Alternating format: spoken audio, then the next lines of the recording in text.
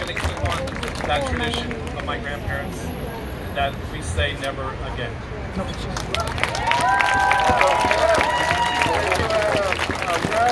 Introduce Erica Castro, who is an organizing manager with the Progressive Leadership Alliance in Nevada, and, um, and just want to introduce her to give some words.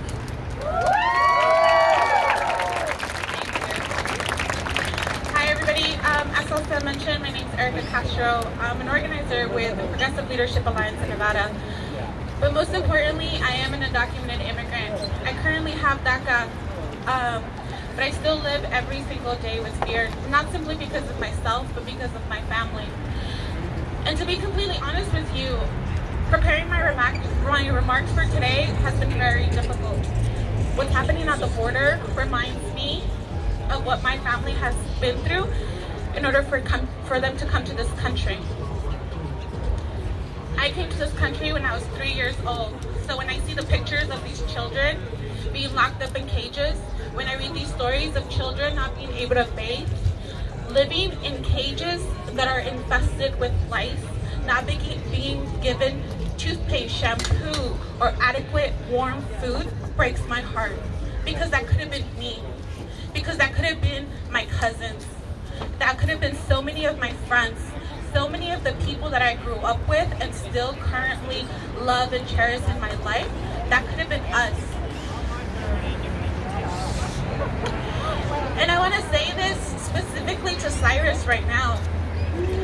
Cyrus, you like to show up to these events and you like to threaten us with your cameras and with your signs but what you don't understand is that there are communities in this state right now that look like you that are being attacked by this administration.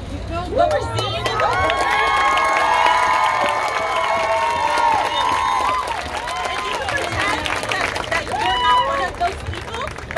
stand here and as I fight for communities of color and for immigrants, you are included in that. Even if you want to constantly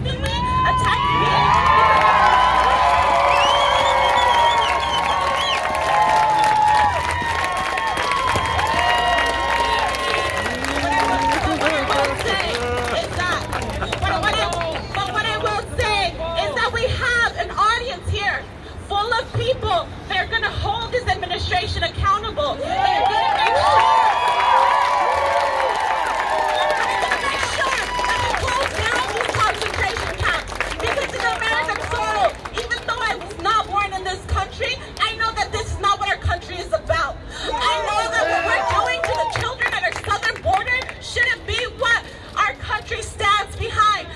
Hope you enjoyed that last video. Hop on over to statuscoup.com where you can sign up for our email list and become a member for as low as 5 to $10 a month. Membership is how we grow. That's statuscoup.com slash join. And remember, join our email list so we can grow the revolution with you.